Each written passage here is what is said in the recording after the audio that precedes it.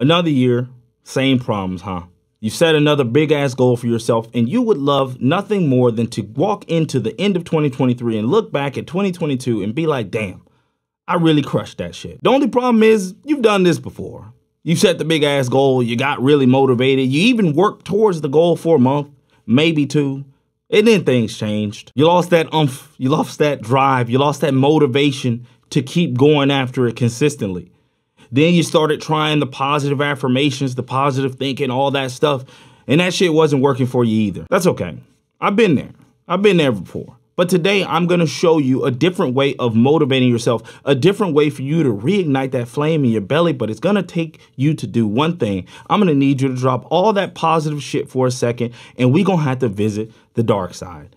Yes, that's right. I'm talking about using dark motivation. Probably something you haven't heard of but I'm gonna share with y'all why you should be using this at some points to go after your goals. Now, before we talk about why you guys should be using dark motivation, it, it might help if we cover what it means.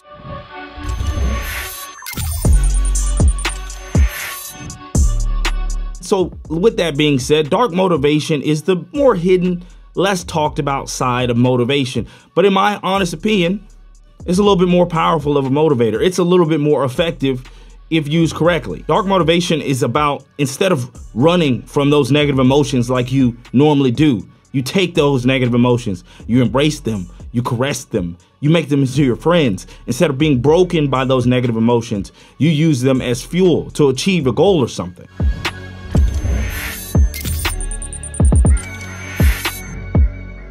Now, a lot of people look at negative emotions and they see it as an obstacle. They see it as a hurdle. And it is very true. You don't want to live in negative emotions. But what you'll find is that successful people tend to use negative emotions to their advantage. And that's because they realize that a negative emotion is very high energy. The only problem is most people use negative emotions in the wrong way. Let me explain. I know you've had a bad day, maybe after a breakup or something, a family member died that you just wake up and you just do not want to get out of that bed. The sadness, the depression, it just will not let you out of that bed. Think about how powerful those negative emotions were that day. Those emotions were able to cripple you. Your goal didn't mean anything. What you were supposed to do that day didn't mean anything. That emotion was able to cripple you. But what if we could take that emotion and use it to drive you instead of it lay you out like that? The truth is, negative emotions can give you that push, can give you that edge that you need if you use them wisely it can be that factor that is when you really just don't feel like going to work out, when you really just don't feel like making that extra cold call, when you really just don't feel like going to work, but you know you need the money. It can be that push, it can be that edge to really help you do those things, even when you don't feel like it. And this can be seen by a lot of the athletes that probably you and me watch when they've faced adversity, when they've had to bring themselves back from injury, when they've got cut, when they've had to revitalize their careers. We've seen a lot of them use negative emotions to to to good to get where they needed to go. We've seen them use it. Look at Michael Jordan. You've seen all the memes going around, and I took that personally. Came personal with me. Michael Jordan used to use everything as his motivation. He used to hold that shit close to his chest. He used to use all that to motivate him. Michael Jordan was cut from his high school basketball team. You think he, he used that to fuel him to become as great as he is. Elon Musk, when he was building SpaceX, he says in an interview, his heroes, the people he looked up to, the people that did space exploration, they doubted him. But I guarantee you that he used that doubt.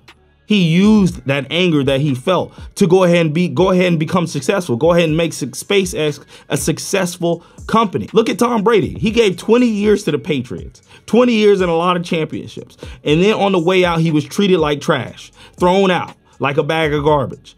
But I guarantee you, he used that. You know how crazy Tom Brady is. He used that. You think Bill Belichick didn't drive him? That's why he probably won that championship the very next year.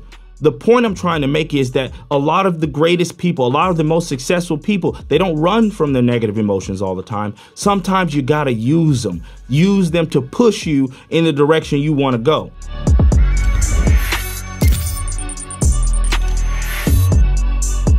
And then finally, here are the three main reasons that you should use dark motivation. Number one, dark motivation, in my opinion, is more powerful. But I am giving you a warning right now. dark motivation can be dangerous. I need you to think of it like a candle burning at both ends. This is not something that you should use all the time, 24 7. No, this should be spurts of time that you use these negative emotions to push you to where you need to go. Another reason is dark motivation is one of the perfect tools for getting you out of a rut. Let's face it, emotions are up and down. Every day your life is up and down. And if we're just keeping it real, sometimes all the positive shit don't work. Sometimes following your passion and sticking to your heart and all that shit just doesn't work on some days. It doesn't get you motivated. It works on others, but not on every day. But on those days where you're not motivated, where you don't feel like doing anything. That might be a good time to use that dark motivation. It might be a good time to get fucking angry that your ex-girlfriend left you for somebody else. It might be time to get angry that the other person got a promotion instead of you, even though you've been working there longer. It might be time to get angry that somebody else got the job that you wanted. Or this girl told you you wasn't good enough. It might be time to use those emotions on days like that. And then the last reason is using dark motivation can help you turn your insecurities into flaws let's face it. We all got insecurities. We all got something that we insecure about. I got this, I got this ear right here that's lopsided. We all got something. But instead of lying to yourself, instead of telling yourself everything's okay, everything's gonna be great. No, I'm gonna tell you to go ahead and embrace that. Go ahead and embrace that insecurity you have. Go look in the mirror. Go look at your fat little belly. Go look at it. You know that's not how you wanna look. You know, I want you to imagine you going to a pool party and the baddies are all choosing all the dudes with abs and they not looking at your fat, flabby ass. I guarantee you, using that type of motivation, using that type of fear, it's gonna make your ass go to the gym. You're gonna go work out that day, I guarantee it. The point of this is to use your insecurity to drive you, to drive you, to push you. That's the whole point of all this, guys. Dark motivation is a very powerful way to motivate you especially when it comes to stepping out of your comfort zone. Fear is another great way, another great thing that will make you step out of your comfort zone. And honestly, sometimes that is the only thing that will make you step out of your comfort zone. I know you guys have all heard the saying like there's nothing more dangerous than a corner animal. We've all seen on shows or in the news when somebody is about to survive and they pull off some superhuman feat to survive. And that's because fear and survival, all of that, are very powerful motivators. And if you use those powerful motivators wisely and correctly, there's really nothing better to help you get out of that rut, to help you stay motivated, and, and even more importantly, to help you guys surpass your limits and reach your goals. That's why I brought this to you. That's why I want you to consider using dark motivation.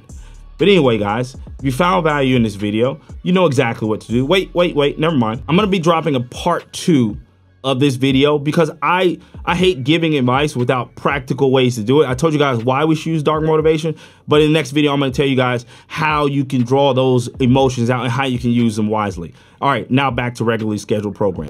Anyway, if you found value in this video, you know exactly what to do. Go ahead, and hit the like, hit the sub, hit the bell, join the gang, gang, gang, and I'll catch y'all in the next video. You know what it is. Your boy Glasco out. Peace.